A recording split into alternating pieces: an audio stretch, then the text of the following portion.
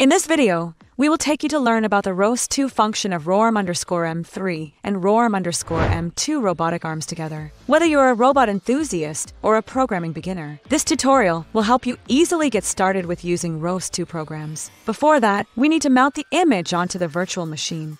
First, we need to create a new virtual machine, and the name here can be customized. Select Linux in the type field. Select Ubuntu in the version field.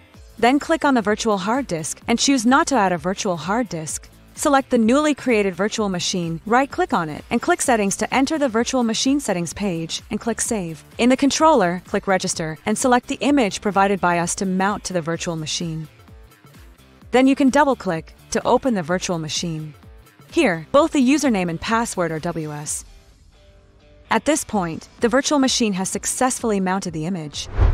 Let's operate on the RoArm underscore M3 robotic arm. We need to connect the serial port of the robotic arm to our computer using a USB cable. Remember not to insert the wrong serial port here. Click on the device dash USB. If there is no new CP210X port added, you can download the CP210X driver installation package from the Wiki FAQ to install it. If there is a new port, mount the serial port at the device USB location above the virtual machine. Let's run the ros2 underscore humble.sh script to enter the Docker container. Next, enter ls dev tty to print out the serial device.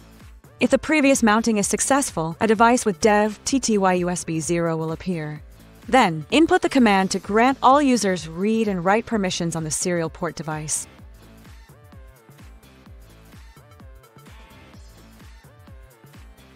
Next, we need to recompile the work environment.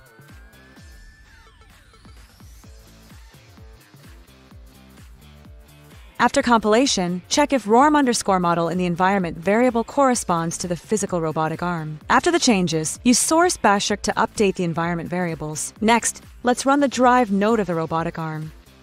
Only by running this node can communication be established with the lower computer. Running this launch file will display the URDF model of the robotic arm in the RViz window. If the previous operations are completed, the physical robotic arm will move along with the movement of the URDF model. The left side is the operation interface of the robotic arm drive node. On the right is the interface for viewing the joints of the RViz 2 robotic arm model. You can control the rotation of each joint of the robotic arm by dragging and dropping the sliders on the control panel. Clicking center will restore the model to its initial position when the RViz 2 model interface started. You can also reopen a terminal and enter the container to input the following command. The value of publishing message data in the LED control topic can range from 0 to 255, so as to control the brightness of the LED light.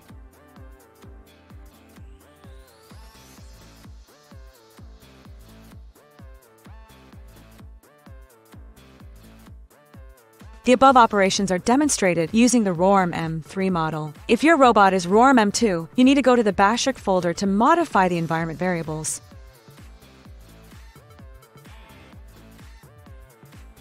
Changed RoArm model equals RoArm M3 to RoArm model equals RoArm M2.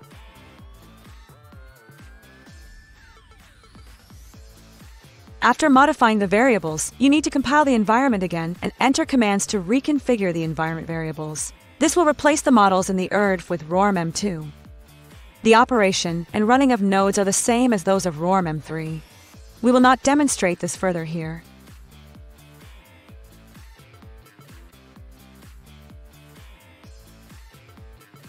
Open a new terminal, enter the container, and execute the launch file to view the model.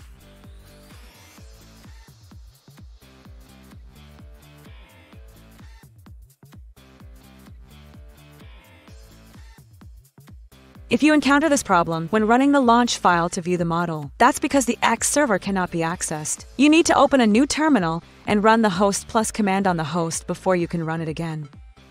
That's the introductory tutorial on the basic driving and control of robotic arms. If you find it interesting, remember to follow us. We will also bring more ROS2 tutorials about robotic arms later.